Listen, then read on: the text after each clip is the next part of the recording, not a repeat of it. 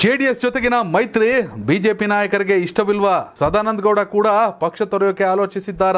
ಭಿನ್ನಮತ ಶಮನಕ್ಕಾಗಿ ಹೈಕಮಾಂಡ್ ಮಾಡ್ತಿರೋ ಸರ್ಕಸ್ ಏನು? ಹಾಯ್ ಹಲೋ ನಮಸ್ಕಾರ ವೀಕ್ಷಕರೇ. ಕರ್ನಾಟಕ ಟಿವಿಗೆ ಸ್ವಾಗತ. ನಾನು ಯೋಗೇಶ್ ಈಶ್ವರ್. ಬಿಜೆಪಿಯಲ್ಲಿನ ಭಿನ್ನಮತ ಹೈಕಮಾಂಡ್ ಪಾಲಿಗೆ ಈಗ ಅಕ್ಷರಶಃ ಬಿಸಿ ತುಪ್ಪ. ಉಗಿಯಂಗೂ ಇಲ್ಲ, ನುಂಗಂಗೂ ಇಲ್ಲ.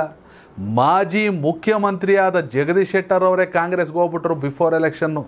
ಮತ್ತೊಬ್ಬರು ಮಾಜಿ ಮುಖ್ಯಮಂತ್ರಿ ಸದಾನಂದ ಗೌಡರಿಗೆ ಡಿ ಕೆ ಶಿವಕುಮಾರ್ ಅವರು ಕಾಳಾಕವ್ರೆ ಅಂತ ಸುದ್ದಿ.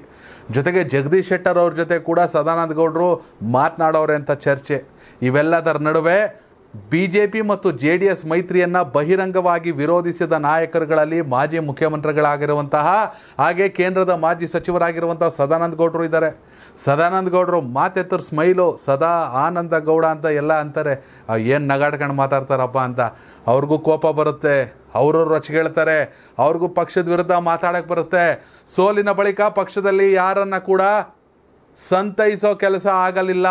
ಬಿ ಜೆ ಪಿಯಲ್ಲಿ ಹೀಗಾಗಿ ಒಂದಷ್ಟು ಜನ ಪಕ್ಷ ಬಿಡ್ತಿರೋದು ನಿಜ, ಹೀಗಾಗಿ ಒಂದಷ್ಟು ಜನ ಪಕ್ಷ ಬಿಟ್ಬಿಟ್ಟು ಹೋಯ್ತಾರೆ ಬೇರೆ ಕಡೆಗೆ. ಇದನ್ನು ಮಾಜಿ ಮುಖ್ಯಮಂತ್ರಿಗಳು ಬಿ ಜೆ ಪಿಯಲ್ಲೇ ಮುಖ್ಯಮಂತ್ರಿಗಳಾಗಿದ್ದಂಥ ಸದಾನಂದ ಗೌಡ್ರು ಹೇಳಿದ್ದು.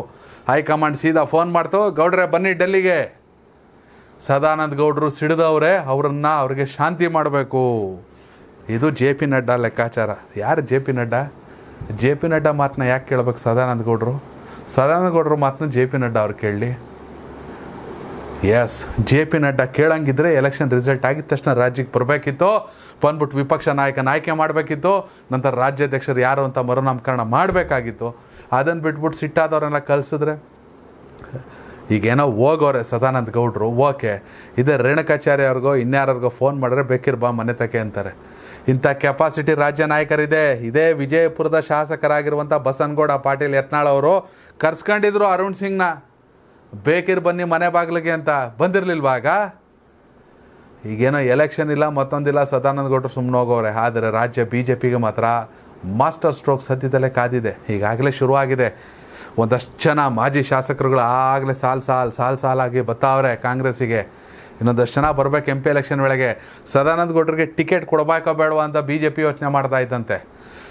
ಸರಿ ಜೆ ಡಿ ಎಸ್ ಜೊತೆಗೆ ಮೈತ್ರಿ ಅವ್ರಿಗೊಂದು ನಾಲ್ಕು ಸೀಟ್ ಅಂತ ಬಿಟ್ಕೊಟ್ರು. ಇಪ್ಪತ್ತ ನಾಲ್ಕು ಸೀಟಲ್ಲಿ ಇವರು ಕಂಟೆಸ್ಟ್ ಮಾಡಬೇಕು. ಇಪ್ಪತ್ನಾಲ್ಕು ಸೀಟಲ್ಲಿ ಹದಿನಾಲ್ಕು ಜನಕ್ಕೆ ಎಪ್ಪತ್ತು, ಎಪ್ಪತ್ತೆರಡು ವರ್ಷ ವಯಸ್ಸಾಗೋಗೈತೆ. ಇನ್ನೊಂದಷ್ಟು ಕಾಂಟ್ರವರ್ಸಿ ಇನ್ನೊಂದಷ್ಟು ನಿಲ್ಲಲ್ಲ. ಯಾರನ್ನ ಕರ್ಕೊಬತ್ತೀರ ನೀವು?